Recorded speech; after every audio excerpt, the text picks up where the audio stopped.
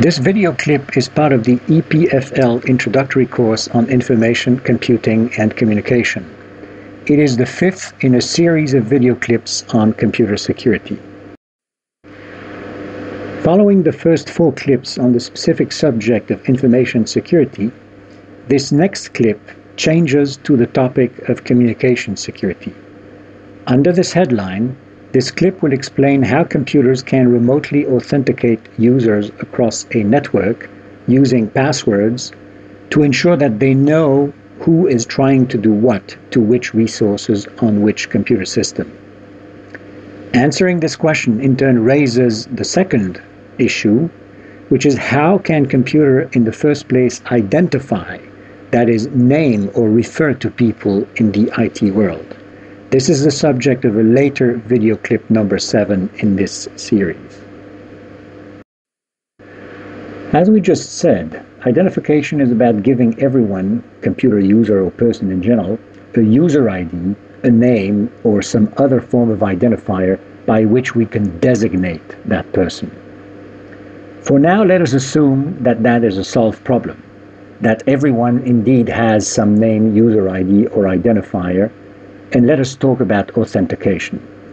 Authentication is the process by which a computer, or in fact a person, can convince themselves of the identity, that is, the user ID or the name, of a user contacting them from across a network, a telephone line, or in fact in front of us.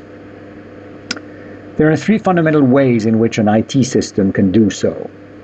First of all, by asking the user for some secret that only they know, such as a PIN or a password. Secondly, by asking the user to present something that they are, i.e., some biometrics trait, such as, for instance, a fingerprint. Or third, by asking the user to prove that he or she holds something that belongs only to them, typically a token or a chip card. Let us first talk about secrets that users know, pins or passwords. In passing, let us point out that all the things we will say here about passwords apply equally well to user IDs. Many people might argue that user IDs are different from passwords because they're not secret. And indeed, our EPFL user IDs are our first name dot last name at epfl.ch, which is indeed not a secret. It is, however, unfortunate as it allows anyone who knows that we're affiliated with EPFL to guess what our user ID is, send us spam, blackmail us, or worse, try to steal our identity. User IDs should therefore also be kept as secret as possible even though they are not really as secret as passwords. Now, passwords suffer from two related problems. The first one is that they are secret, but they necessarily get exposed when they're typed into an end system for authentication. This is why all systems today obfuscate or blot out password fields when users type them in. However, in addition, you should also ensure that the end device that you use for authentication is not infected by spying malware. The worst kind of spying malware is keyloggers and RAM scrapers, which respectively spy on everything you type or scan the memory of your device for leftover passwords and pins. You should also watch out that no tiny webcam or other camera is aimed at the keyboard where you type in your PIN or password. The recent surge in identi- identity theft cases is the result of criminals having rigged ATM stations with such extra equipment to record financial card numbers and PINs of innocent customers. In any case, it is always good to ensure that nobody is watching you when you type in your password and elementary discretion consists of looking away when you see someone else typing in their password. The second related problem with passwords is that they must necessarily be transmitted from the end device in which they're typed to the remote computer that wants to verify them. In addition, to be able to verify passwords, the remote computer must obviously have a copy of them. Both transmitting the passwords to the end system and storing them at the end system, again, exposes them. Now, to minimize that exposure, they should never be either transmitted or stored as is in clear text that any hacker could capture on a network link or read in the target computer. Instead, they must be what's called salted, which I will explain in a second, and then one way hashed into an irreversible digest before they are transmitted. At the destination, the target computer never sees or saves any clear text of any password. Instead, it also stores only the salted, salted and hashed password, and verification succeeds when what it receives from the user matches what is stored in its salted and hashed password list. Now, salting a password means prepending it with some fixed but random number to increase its entropy for reasons that will become clear in a few slides. It should go without saying, but I will say it anyway, that you should never ever reveal your passwords to anyone. Doing so is directly opening the door to that someone stealing your identity and spoofing you, or revealing the password to some malicious third party. As the saying goes, if you tell someone a secret, you have to kill them, which is clearly not a reasonable option here. So do not ever share passwords. There are better ways called delegation to give others some temporary permission to act on your behalf using their password rather than yours. Last but not least, passwords should never be written down for fear that the piece of paper that they're on could be lost or stolen. This in turn means the passwords should be easy to remember meaning that you may want to use your favorite pet or singer or boyfriend or girlfriend name. However, if they're that easy to remember, that also makes them trivial for hackers to guess. So passwords should in fact be as hard to guess as possible, but of course not so hard that you need to write them down. And therein lies the spell of passwords. They should be at the same time hard to guess and easy to remember, so never, so you never have to write them down anywhere. Picking such balanced passwords is thus not easy. Witness of this is, for instance, this slide about 2008 accidents in which over 32 million passwords were publicly revealed or broken. This slide gives the list of the 500 passwords that were most frequently found among those 32 million and are thus the most stupid that anyone could possibly choose. Now, when you look at that slide, some of those passwords are very clearly stupid indeed. For instance, the first one, 123456, which appeared over 290,000 times among the 32 million, is very clearly stupid. However, when you look at some of the other passwords circled on this slide, at first blush you would think that they look pretty hard to guess and in fact hard to remember.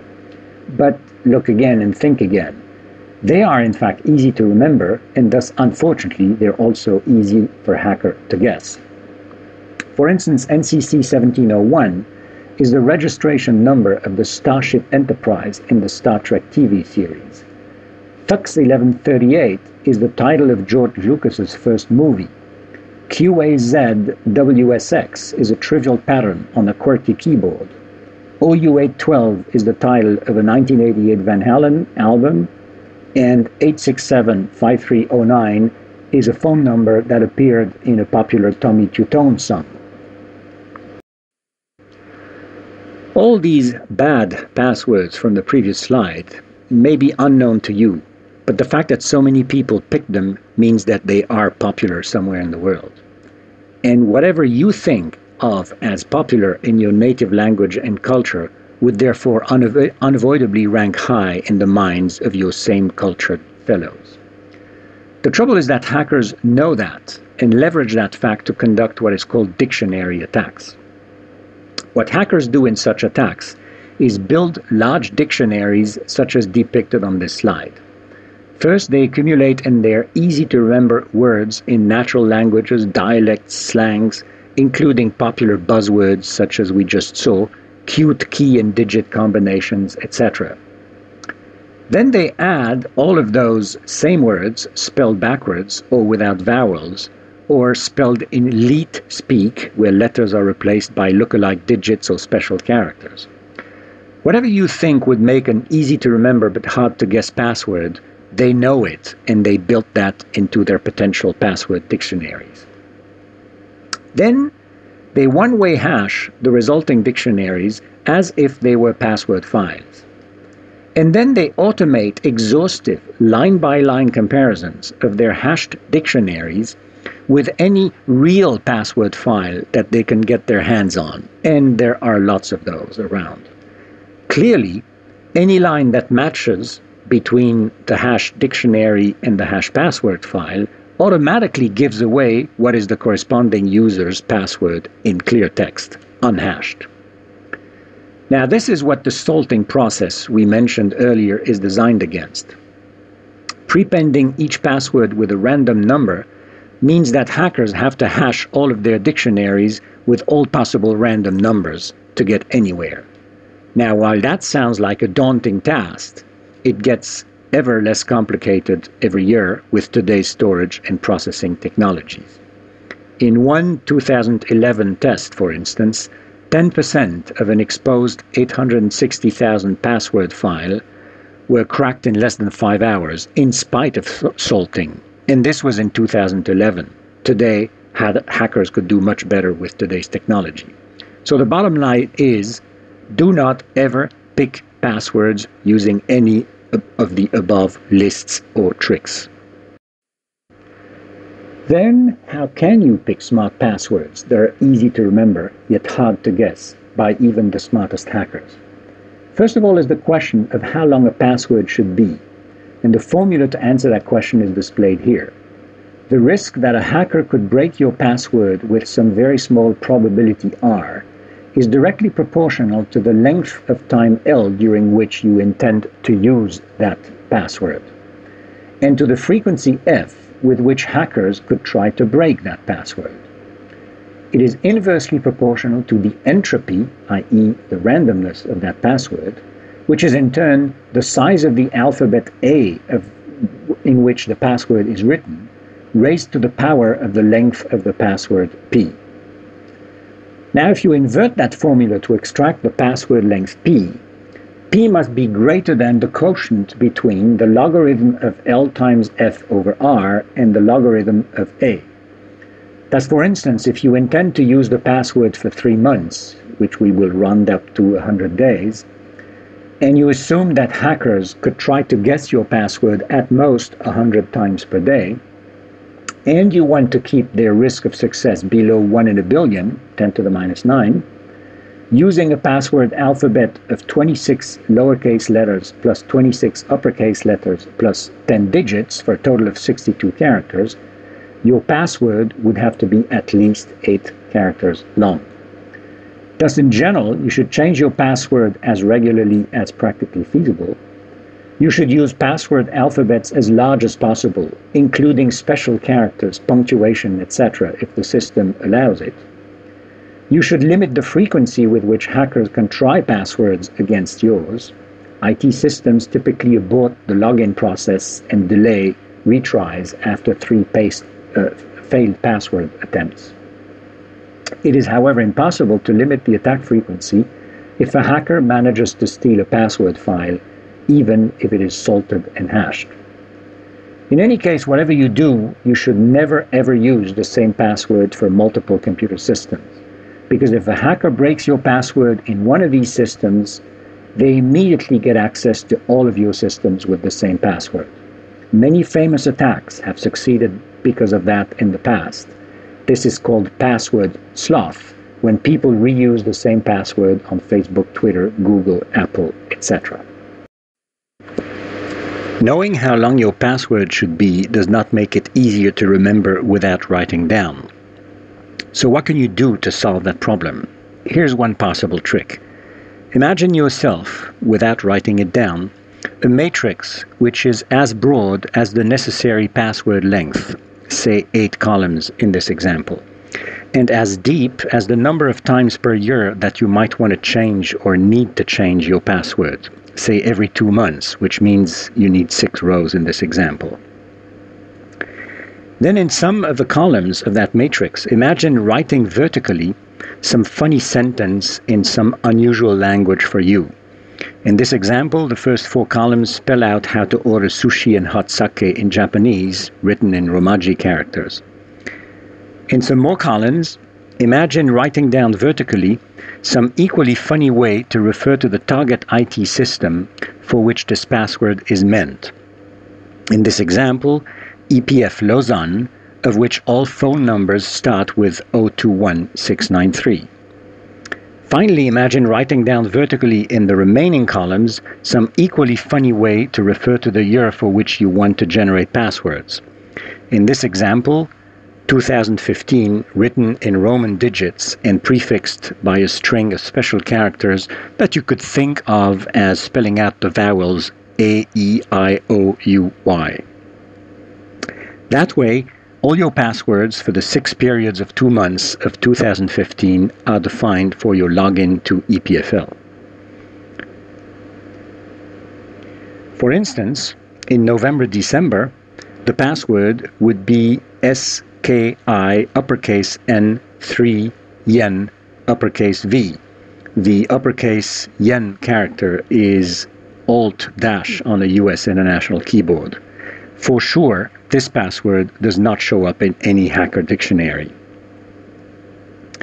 In inventing your own matrix, make sure some columns of it contain lowercase, uppercase, digits, and special characters, so each password will indeed include every one of those features. Now, you might think that this is a crazy system, as you cannot possibly vi visualize, much less remember such a matrix without writing it down. The only thing I can tell you there is trust me, I've been using such a trick for the past 40 years and could, but of course will not, tell you in seconds what my passwords for my university account was in February 1980 or will be in November 2020. The gist of the trick is that the funny sentence here in Japanese never ever changes from year to year or from system to system. So within days, you have every line of it planted in your head forever. Similarly, the funny target IT system reference never ever changes from year to year. Now, granted, there was no Google in 1980, so you have to come up with new system descriptors as you need them. But once invented, they also never change, so their lines are also planted in your head within days. Now, of course, the funny year reference, that changes every year, but then within that year, it is the same on all of your IT systems. So again, within days, you have it planted in your head. I assume none of you changes his or her password every two, three months on every one of all of your internet accounts, and this may be fine as long as you do not entrust too much personal information or money on these accounts. However, for accounts that involve your privacy and your money, be careful, especially if they're protected only by a password. Even if you change your passwords only once a year, or not even that, think of a good matrix of which you may use only one row for low-risk passwords. And if you do not use this trick, at least test your passwords with one of the tools listed on this slide.